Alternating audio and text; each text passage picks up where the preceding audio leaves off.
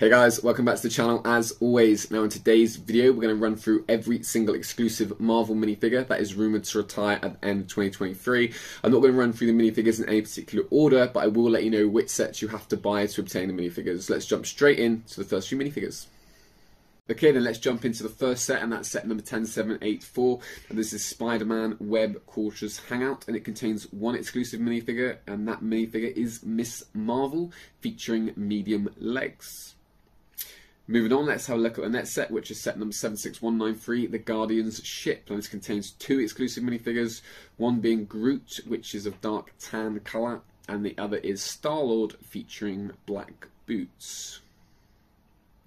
Moving on to Thor now, we're looking at the first set from the Love and Thunder movie, The Goat Boat, which is set number 76208. This contains two exclusives, and the first is Korg Neck Collar And the second is King Valkyrie.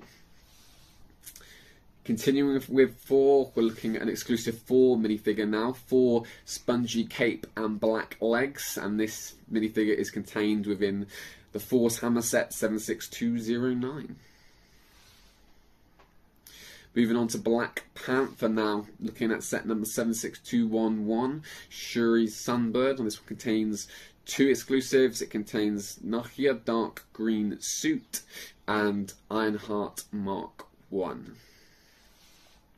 Sticking with Black Panther, let's have a look at Shuri's Lab, set number 76212. This one contains one exclusive, and that's Black Panther, featuring a claw necklace.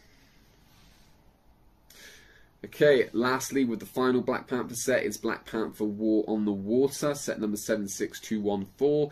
This one contains um, Black Panther, Shuri, Ironheart Mark II, Mbaku, and I believe you pronounced last one, Okoye Red Top. And then the final set on this list is set number 76216, Iron Man Armory. Now this one features five exclusives, the first being War Machine, uh, a pearl dark grey colour with a backpack, Whiplash, and three variations of Iron Man. Iron Man Mark 25, Iron Man Mark 85, and Iron Man Mark 3. Okay, so there we have it. Now that was a list of every single exclusive Marvel minifigure that is rumoured to retire at the end of 2023.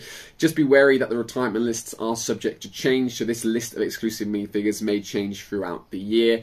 But my first reactions from looking at that list is the, uh, was it Ironheart Mark II? We've definitely got a new Marvel Ironheart TV series coming out this year, so I feel that that particular minifigure might be quite desirable once that TV series launches.